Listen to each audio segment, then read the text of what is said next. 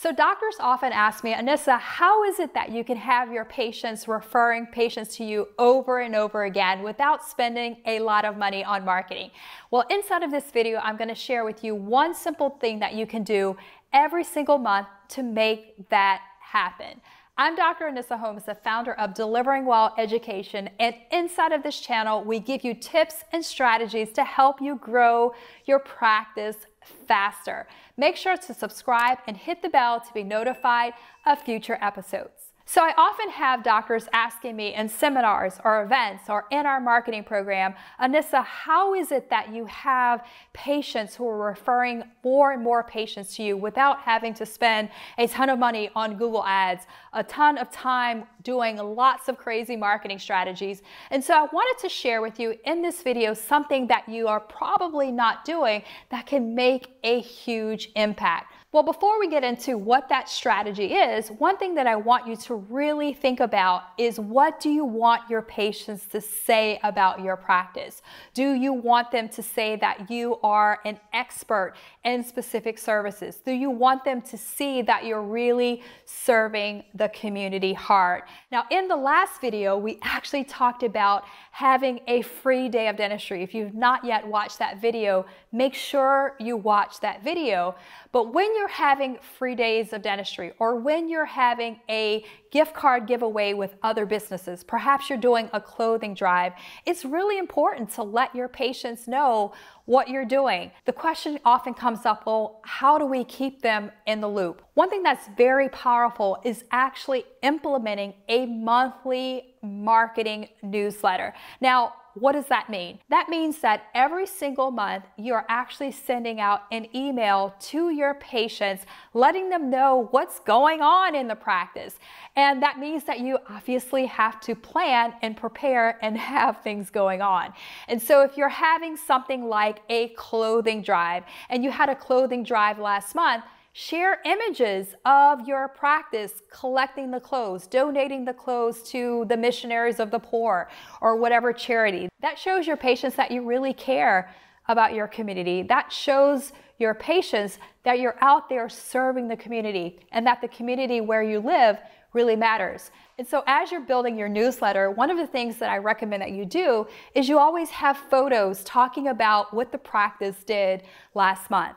So the next thing that you want to put inside of the newsletter is what you're planning for this upcoming month. And so if this upcoming month, for example, you're doing a free day of dentistry, it's a great way to be able to involve your patients, to let them know what you're doing so that they can help spread the word for you. And what's really exciting is that if you're doing videos, for example, on YouTube or you're doing videos on Facebook, etc., now what you can do is you can actually share that video within your email. And what that's going to do is it's going to drive more people to actually see those videos and put it out to more people for free.